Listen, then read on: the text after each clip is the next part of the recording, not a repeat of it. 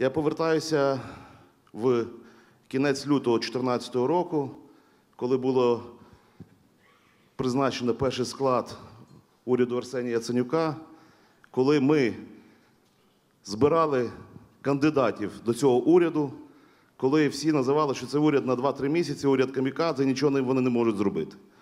Я привідкрию маленьку таємницю. Е, Коли ми спілкувалися, і Арсеній Петрович запропонував Володимиру Борисовичу Гройсману доєднатись до уряду, в нього була одна ініціатива. Ми повинні розпочати реформу по децентралізації влади в Україні.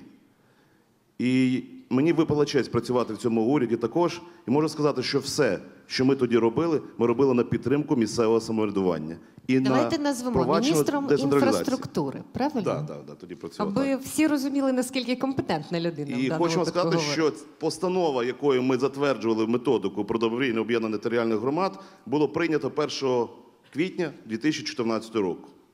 Одразу ж ми почали розробляти процес бюджетної децентралізації для того, щоб ті громади, які вперше будуть обрані і пройдуть вибори у 2015 році, могли отримати потужну фінансову підтримку. Хочу всім нагадати, ми зараз бачимо багато цифр цікавих, що в 2014 році півмільярда гривень дали на підтримку громад. Наступного року 18 мільярдів гривень. І я впевнений, що 7 грудня, в цей четвер, ми проголосуємо бюджет, яким буде це передбачено. Але на кінець лютого 2014 року на єдиному казначейському рахунку було 108 тисяч гривень. Я прошу, щоб всі згадали, з якими викликами ми тоді стикалися з відкритою агресією Росії, з поширенням так званої руської вісни, яку зупинили тоді. Але паралельно ми, врешті-решт, наважилися впроваджували реформу по децентралізації.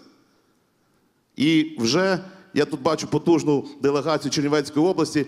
Я буду наводити приклади, тому що я е, так сталося, є єдиним головою фракції, е, який є депутатом-мажоритарником. Мій рідний 204 виборчий округ. Тому я знаю про цю реформу все. Як ми її приймали в уряді Арсенія Яценюка, а як потім з 2015 року ми її імплементували на місцях.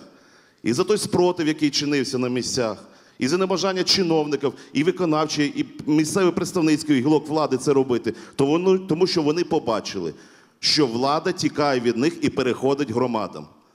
Пам'ятаю, як вони не давали нам проводити збори з сільськими головами, які лише переживали, як вони пройдуть вибори у е, місцеві вибори в 2015 році. Я дякую тим десятьом в Чернівецькій області головам об'єднаних громад, які наважились на це. І ми повинні тоді були підтримати для того, щоб це був взірець, для того, щоб інші повірили. І всі ці 665 голів новостворених ОТГ, які будуть вже обрані і станом на 24 грудня, коли пройдуть чергові перші вибори в об'єднаних громад, це є приклад того, що те, що ми розпочали в 2014 році, воно правильно. Так, у нас нема стільки часу, як в європейських країнах, які по 10-20 років проходили реформу децентралізації. Але я вважаю, що точка неповернення пройдено. Цю реформу не спинити, тому що ваші приклади, це у там людям розказують одразу, це позитивно. Наприклад, Великокучерівська громада у 2015 році отримала 8 мільйонів гривень на дороги.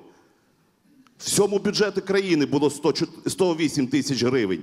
А в 2015 році вони вже дороги почали будувати. І тепер це вже була відповідальність е, новообраного голови для того, щоб е, ці дороги, на які вони ці гроші натрапили, вони були використані ефективно.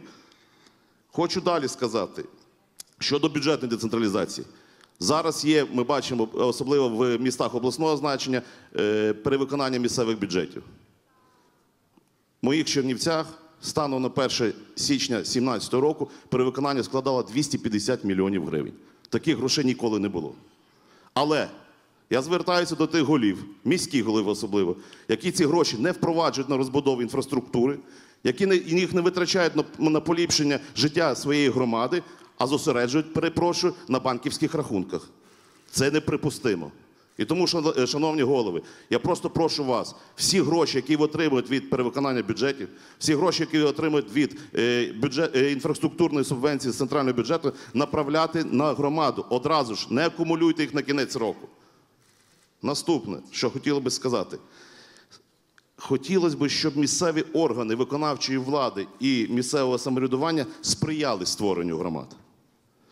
Тому що особливо е, Сокирянський район, там є міський голова Сокирянського ТГ, е, повний спротив місцевого самоврядування районної ради в тому, щоб е, сприяти створенню об'єднаних територіальних громад в межах Сокирянського району.